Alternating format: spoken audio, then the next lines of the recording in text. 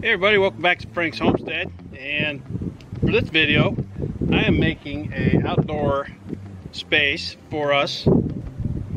This is the area here and it's roughly 14 foot across there and then 15 foot this way. So 14 by 15. And that could change a little bit. So I'm gonna take you along for the journey here and show you how I'm gonna do it. If you haven't already, I hope that you'll hit that subscribe button to help support my channel and continue with more content down the road. And don't forget to hit that like button as well. And we appreciate you watching the video.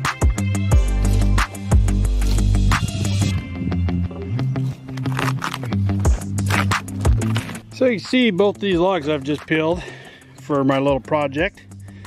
Uh, the one in the back here is a little fresher cut, so it's a little lighter yet. This one here was cut last year, and of course it's darker.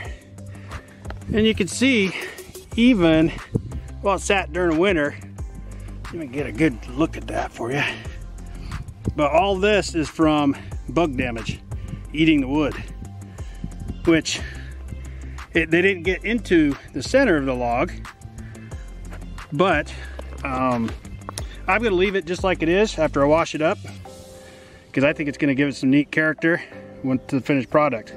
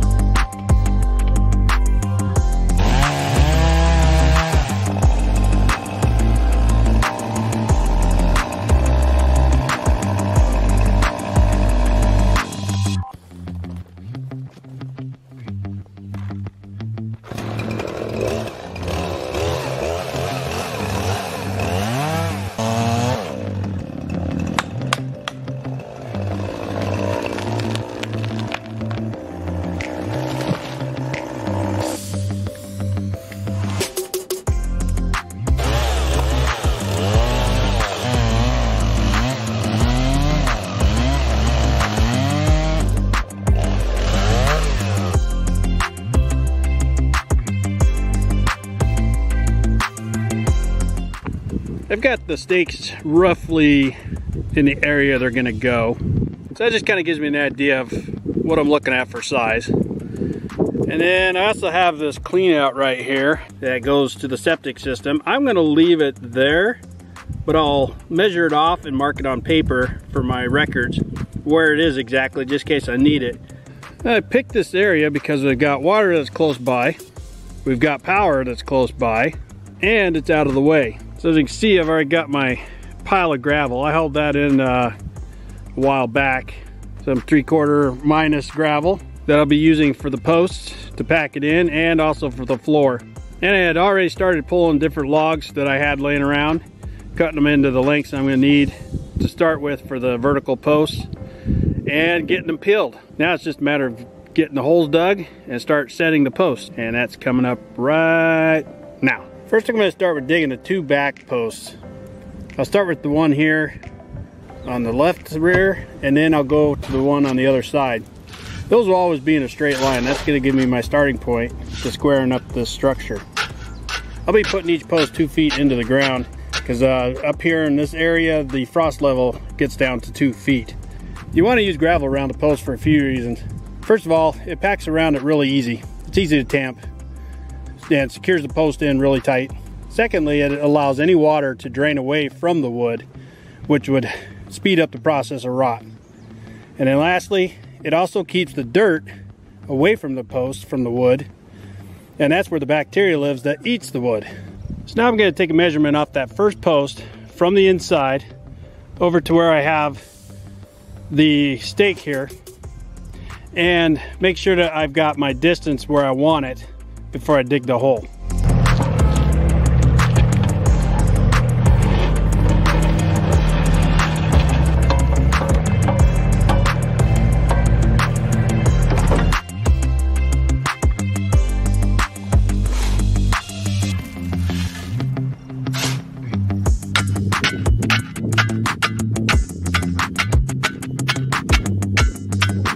So now that I got the two posts in, they are gonna be in a straight line from each other. And I found when I working with logs, one of the easiest ways, especially if you're working by yourself, to start squaring up your structure using logs is just to put the screw in the center of the first post, put a screw in the center of the second post, run your string line tight, and then take your square and make sure that this edge here is in line with your string.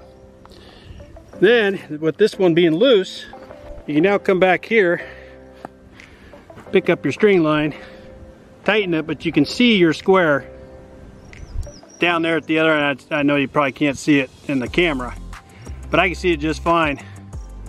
And all I have to do is just line it up along that edge. When I put this post in, it'll be square, at least on the three sides so far. Well, folks, you gotta remember, it's not a Picasso. When you're working with logs, they've got different thicknesses and everything else that goes with them. So you gotta have a little variance, but you get as close as you can get it. I'm gonna mark this with spray paint this time.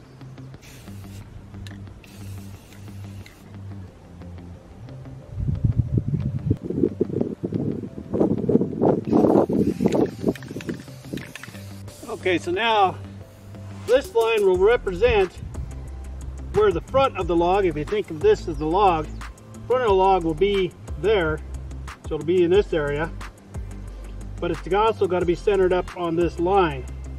So half here and half here to make it match that log over there.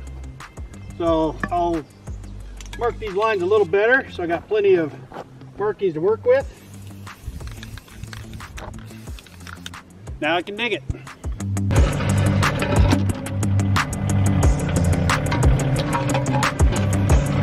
now that I got it dug, which this was a tough hole, it was full of rock. Um, I only end up with, oh, about 20 inches rather than the 24 that I wanted to go, just because it was solid rock down at the bottom. So I just have to adapt to that and make it work. Structure should have enough weight on it with no problem to withstand winds or anything else like that. But I don't know if you can see, you can probably see the white line that's still there, which is the center of our post but I kind of took out the bank a little bit here where this line was at and then I'll put the post in there and what I'll do is I'll get a measurement off of there that corner post run over here so I know roughly where to put that post.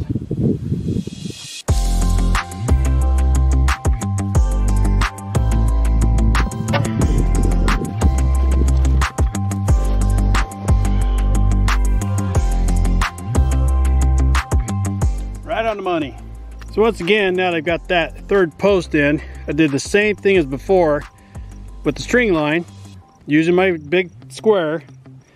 Now I'm getting ready to mark this first mark for the fourth and final pole.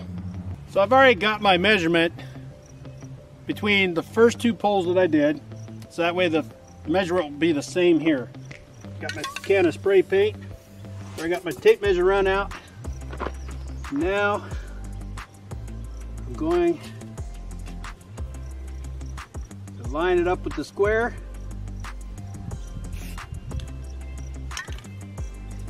Don't want to paint my tape measure. Put a little on there.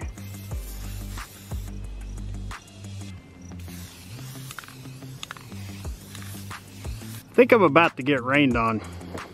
This just moved in while I was working. Ain't got much time left, but it has got a bunch of rain in it. So I'm gonna pack up my stuff for a bit. Yep, it started to rain. Guess it was a good idea to pack up for the day. Guess I'll start tomorrow. Okay, so the next day. Uh, we got a pretty good rain yesterday. So it's day two. And so my marks are a little washed out. I'm gonna have to remark it before I can put in that fourth vertical support. So that's what I'm gonna do. So I'm gonna start with. It's a little bit of a chance of rain today too, so we'll see how it goes.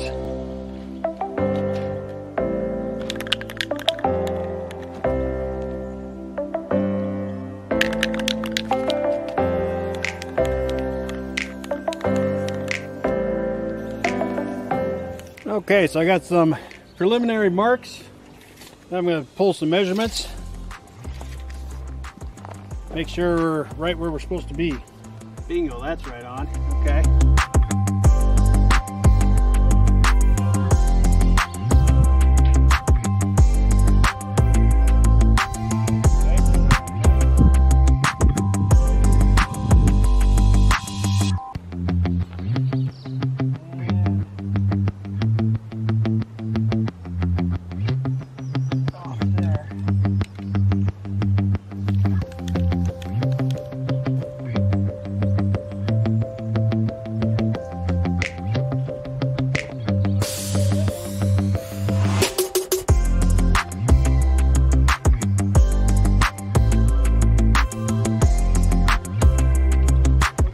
You can see, got it all laid out. And where the circle is, where the next and last vertical pole is gonna go. But just had to double check it and make sure it was in the right spot.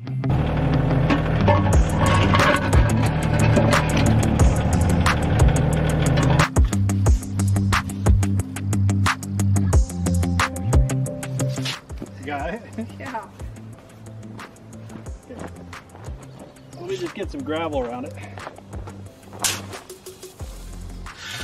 Kind of nice that this is right next to the pile. Yeah. Now that I have all the vertical supports up, now I need to cut the tops off. I made sure when I did these vertical supports that I left plenty of room to work with because of different elevations. So what I'm going to do is I'm going to start at the highest elevation and start my mark from there. It'll be seven feet. Then I'll be using my string line at string line level to go from this pole to each of the other poles to get them all to the same elevation.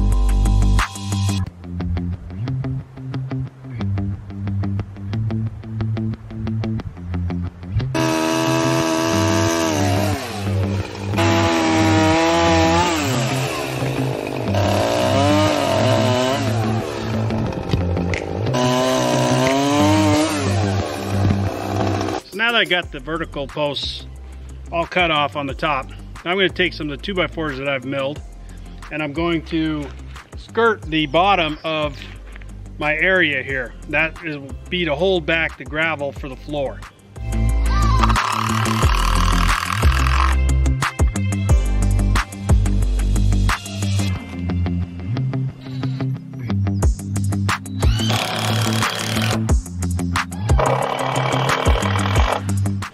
See down at that end, it's uh, quite a difference in elevation. But I'll be taking some rock from around here and filling it in. And then I'll top it with a three quarter inch to make a nice floor. So on each section of board that I put down, just take another piece of two by four and I cut a little point on it and then I'm going to drive it in to help support that board and keep it from pushing out.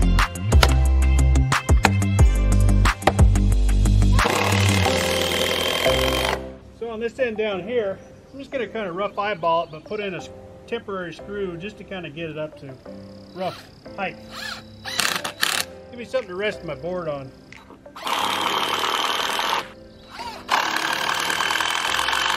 So for this third side, I put a screw down here into this log at the elevation it needs to be, and then I'll check it for level at the other end. I may have to cut it or dig it down just a little.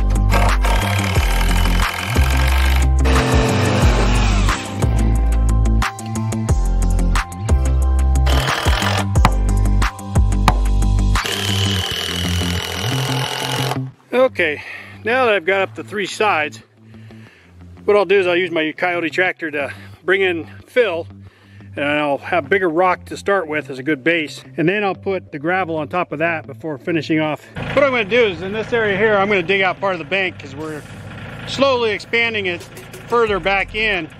So I might as well take some of that and put it over in our fill area here.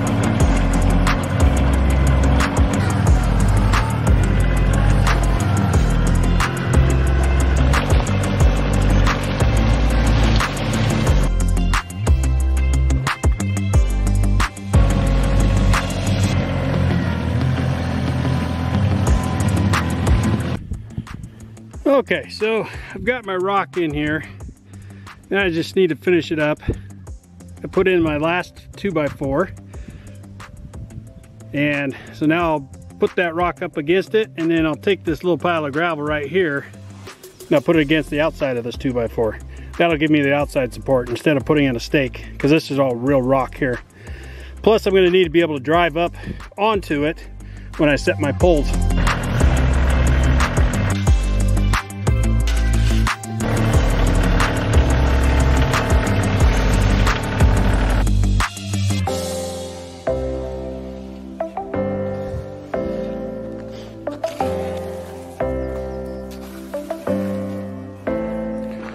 If anybody's wondering how I leveled it, the answer is I didn't. And here's why. I'm gonna be driving the tractor on there to put and set logs. I'll be walking on it and different things like that. It's going to be compacting that gravel down and then when it's all complete, that's when I will do the final grading of it to get it level. Now, hopefully you've enjoyed part one of how to build an outdoor space and you'll come back to see parts two and three and then finished product. But until then, thanks for watching. We appreciate it. We'll see you next time.